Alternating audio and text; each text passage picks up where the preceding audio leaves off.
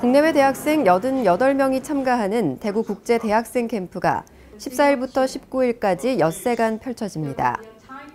캠프에는 중국, 러시아, 태국, 베트남 등 대구시 자매 우호 협력 도시에서 참가하는 대학생 56명과 경북대 외국인 유학생 17명을 포함한 29개 도시 73명과 국내 대학생 15명 등이 참가합니다.